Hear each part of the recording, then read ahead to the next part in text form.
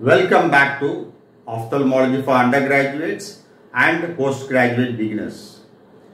Today's topic of interest is symmetricity of the face and orthophoria. The first topic I am going to discuss today is symmetricity of the face, whether the face is symmetrical or not. When you consider about the symmetricity of the face, we have to think about an imaginary line passing through the center of our face like this. I have drawn a picture of face here. I have drawn a line passing through the center of the face. We have to compare one half of the face with the other half. Whether both sides are equal or not. If both sides are equal, then the face is said to be symmetrical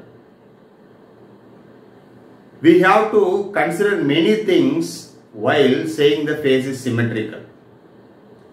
If you consider my face, I have a hair crease on my right side. Obviously, this makes my face asymmetrical. But this is not clinically significant. Hair crease is not a clinically significant one. It is not going to help you in making any diagnosis. Somebody can have a mole on one side of the face. That is also not clinically significant. So we have to consider clinically significant things while saying a face is symmetrical or not. A classical example is facial nerve paralysis. In facial nerve paralysis, what will happen? Suppose the right side facial nerve uh, muscle is paralyzed, the mouth will be pulled towards the left side. When patient closes both the eyes, he can close the left eye well, but right eye he will not be able to close. So, the labial crease will be absent on the side of facial nerve paralysis. The other side will be very prominent. The forehead crease will not be present on the side of facial nerve paralysis. It will be obvious on the other side. So, this is an example, classical example of a asymmetricity of a face.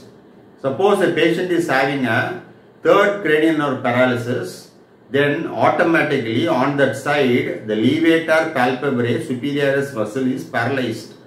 So that side of the eye will be closed, the other eye will be open. This will cause a asymmetricity.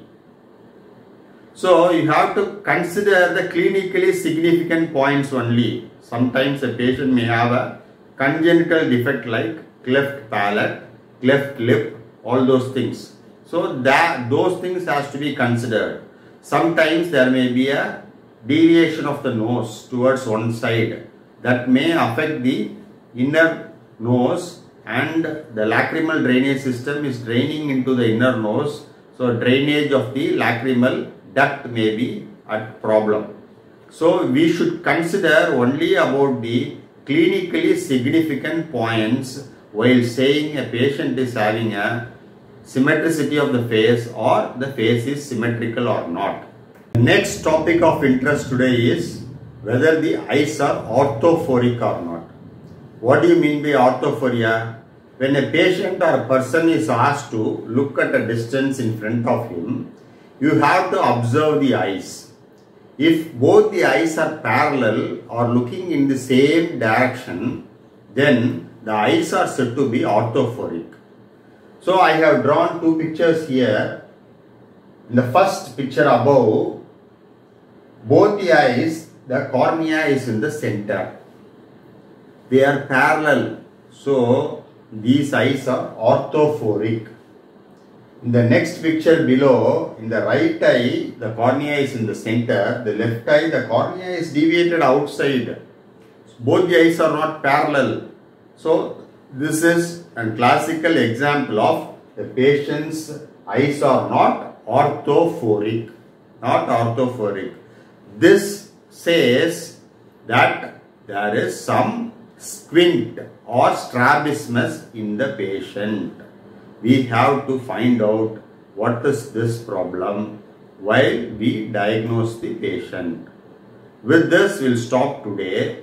We will go to the next topic in the next video. Thank you all.